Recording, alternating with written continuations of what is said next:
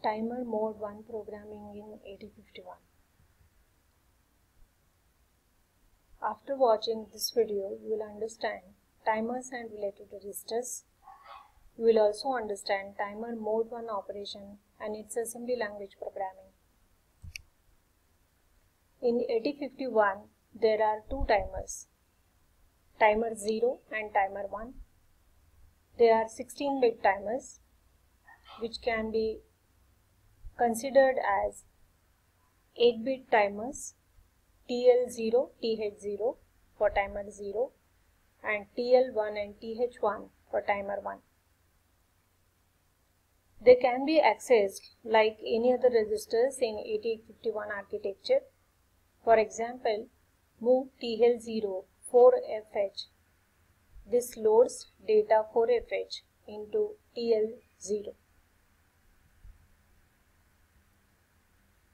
Both timers 0 and 1 use TMOD register which is a TMOD timer mode register. This is used to set various timer operation modes. It is an 8-bit register. The lower 4 bits are used for timer 0 and upper 4 bits are used for timer 1. The lower 2 bits are used to set timer mode and upper 2 bits are used to specify the operation. TMOD register is an 8-bit register. Now we will see how to configure this register for timer 1 and timer 0. Gate bit. This is gate control bit. This controls operation of the timer. For timer to operate, this bit has to be 0. C slash T bar.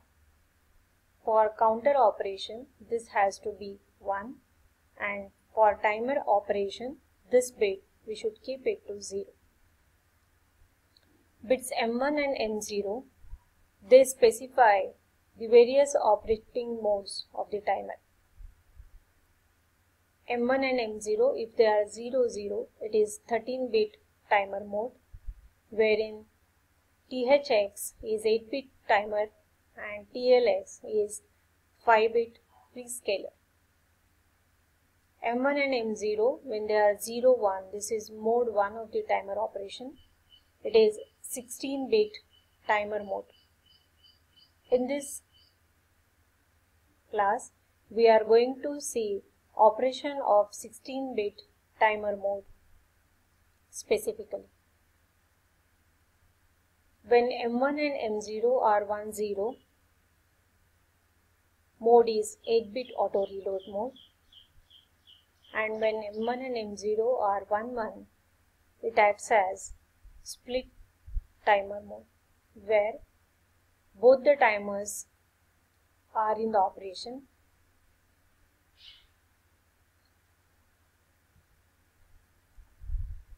Another register which is used in the timer programming is TCON register. This is also an 8-bit register. For upper bits, they are related with the timer operation, whereas lower 4 bits, they are related with interrupts. TF1 is timer flag 1, TF0 is timer flag 0. When timer rolls over from FFFF to 00, these bits are set. TR1 and TR0, they are used to start the timer 1 and timer 0 respectively during the operation. To start the timer, TR1 and TR0 should be made 1. TCON register is bit addressable register and using instruction set bit and clear bit they can be set or cleared during the operation. Now we will see timer control logic for 8051. In 8051 timer operates on the frequency which is divided by 12 to the crystal frequency. C slash T bar, this bit of T mod register decides whether timer is acting as a timer or it is counter. When T is 0, it acts as a timer. In the figure you see gated circuit which has one inverter OR logic and AND logic. For this circuit to switch on, the switch which is indicated in the circuit, gate bit has to be 1 and this enables AND gate when TR bit is 1. Further, this is connected to various modes of timer operation. Now we will see mode 1 programming. Various steps in the mode, pro mode 1 programming are it is a 16 bit timer so it allows values from 0000 to FFFFH to be loaded in the timer register TL and TH. Once TH and TL are loaded with 16-bit initial value, timer must be started by using TR bit. We have to set this bit in the program. Once timer is started, it starts to count up from the initial count. When it rolls over from maximum limit to 0000, it sets flag bit to high. Each timer has flag bit which is TF0 and TF1 for timer 0 and timer 1 respectively. When this flag is set,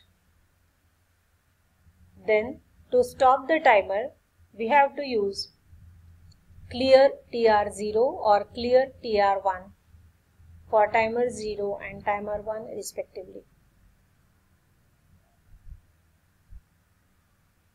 TH and TL must be re reloaded with the original value and TF must be reloaded to 0. Now we will see the steps involved in using timer to generate a delay. Load tmod value in the register that is you are going to configure tmod register based on which timer and which mode of the operation of the timer is needed. Load initial value in TL and TH. Start the timer. Then monitor TF flag using JNB instruction. Once TF flag is set, get out of the loop when TF becomes high. Then stop the timer and clear TF flag for the next process. Go back to the step 2 to load TH and TL again. Now we will see how to configure tmod register based on which mode of the operation and which timer is to be used. We have to configure tmod register. For example, move tmod comma hash 01h. This instruction uses mode 1 of timer 0. Move tmod hash 20h. This uses mode 2 of timer 1 and so on.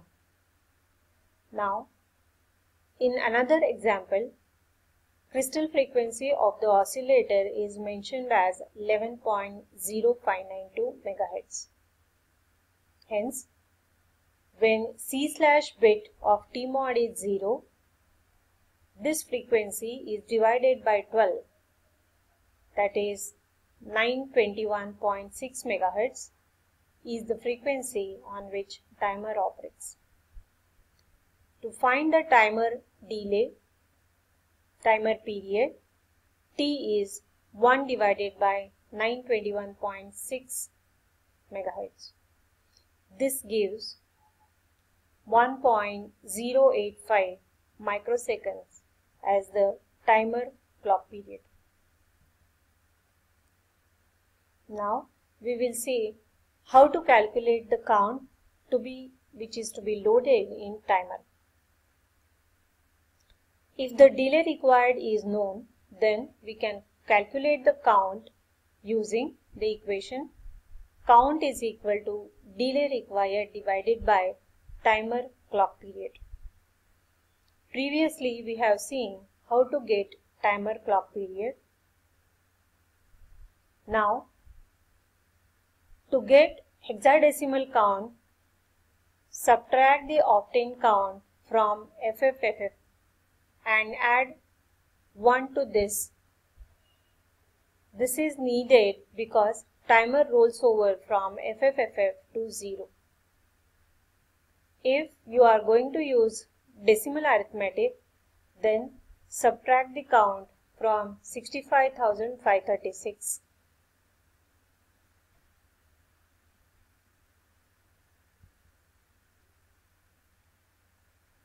Now we will see the values which are to be loaded in TL and TH register with respect to frequency 11.0592 MHz. As earlier seen, now timer clock period is 1.08 microsecond. Considering the decimal arithmetic, we subtract the obtained count from 65,536 and then we convert this to hexadecimal value that is YYXX. Then XX value is loaded in TL which is a lower byte and YY is loaded in TH which is higher byte. Now let us see some examples on timer mode 1 programming. Assume we want to generate a square wave of 50% duty cycle on port P1.5 and we are going to use timer 0 for this purpose. As earlier explained, now we configure tmod to timer 0 and 16-bit mode. So the value to be loaded in tmod is 01. Based on 50% duty cycle. Now TL0 and TH0 counts obtained are F2H and FFH respectively. For 50% duty cycle, T on and T off both are same. So here only one delay is sufficient for on period as well as off period. When we are considering the delay required, we need to divide this delay by 2. Considering initial status of P1.5, in the next step we complement port P1.5 and then we call a delay.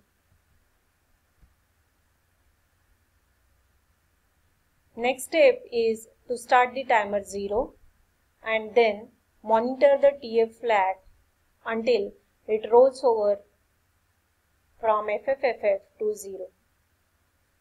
Next, clear TR0 that is stop timer 0 and then clear timer 0 flag also and then return to main program.